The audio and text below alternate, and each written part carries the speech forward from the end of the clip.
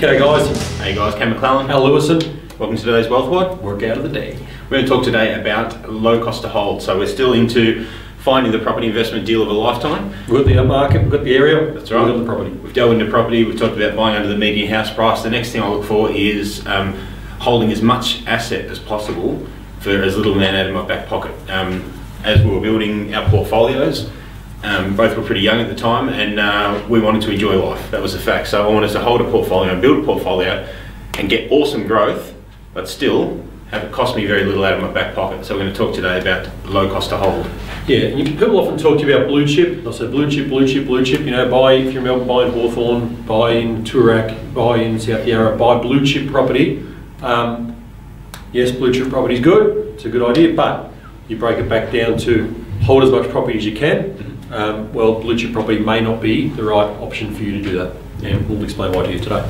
Yeah, I'll give you an example. Um, Felicity and I, uh, when I when I met Felicity, um, we built a serious portfolio of property over uh, the first five years. We went pretty hard building our portfolio. Um, but um, Felicity had lived in the same area of Melbourne for basically her entire life, so she wanted to, before we sort of settled down and uh, moved into a, the similar area, she You wanted can to take go. the girl out of Scoresby. There you go. There you go. Can't take Scoresby out of the girl. So we went and uh, I'd lived in Elwood previously, which is a river, um, a beachside suburb in Melbourne, and I said to her, "Why don't we go and live for a year down in Elwood?" Um, what we did at that point in time was we went and started looking at you know the the Art Deco, um, you know, double-story apartments, so four on a block and that sort of thing, because we built a reasonable portfolio of units and townhouses at that stage. Um, decided not to purchase it. Could have quite easily afforded to buy um, you know, this, this property in Elwood, but instead I took the same amount of money and it came down to the cost to hold. So I'll give you a quick example of why I did.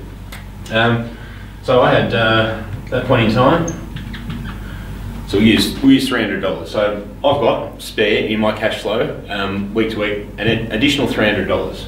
I could have used that entire amount for the holding costs of this Elwood apartment which would have cost me about 550k. But instead, what I did, I went out and I purchased at the time. I used the example of two, but it was actually three at the time. Um,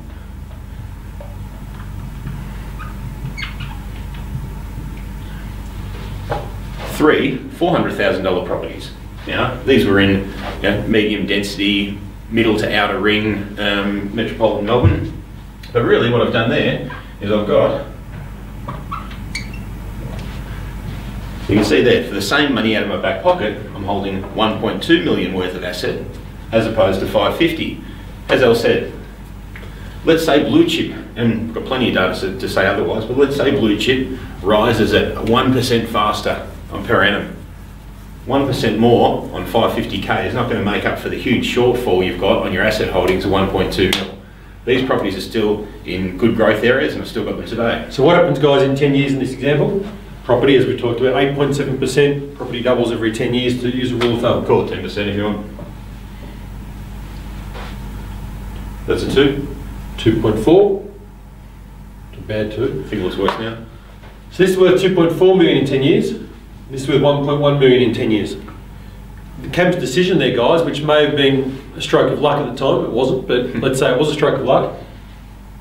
He is $1.3 million better off because he went and bought three properties and not one in a blue chip area. It would have been cool to say to my mates, I just bought this you know, Art Deco apartment in Elwood. It's a blue chip area and it's near the beach, that sort of thing. But hey, I'll take the three crap properties and make more money over the long term, and now I can go out and purchase any property I want. So it's another topic that we're talking about how to choose the right property today, but another topic there is, and we talk to people about it, go and rent where you want to live Yeah. and go and invest where it makes sense to invest. So as Cam said, he, he wanted to buy in Elwood, chose not to. He rented in Elwood and bought three properties where he used to live, Mm. um, which was a smart decision. He's much better off. Yeah. Um, I don't know if you've got time. At um, one of our mates said, um, I've got 300 grand. I like commercial property. Um, do you want to run through that scenario? If you've got uh, two seconds, mate. Yeah, so I got a call last week and they said, um, I've got a business, they've got a very good business, a consulting business. They said, I'm thinking with my 300 grand, I might go and buy myself an office building worth 800,000. The bank will lend them, you know, sort of 70% on the purchase. He said, I'm paying rent anyway, I'll just pay rent to myself. Well, the way to look at it, exactly this example here, is go, what can you hold with your $300,000? So yes, you could pay a 30% deposit and buy one office, your own money, Or you could borrow ninety percent and go and buy three, probably four investment properties. Maybe five, six.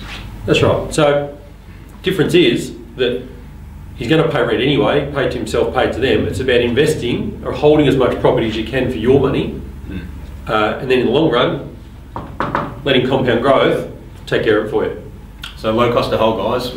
The the least you can put out of your back pocket, the best, which is um, another reason we purchase new properties ourselves now, um, because of depreciation, those sort of things. But we'll go into that later. So happy what Have a good day.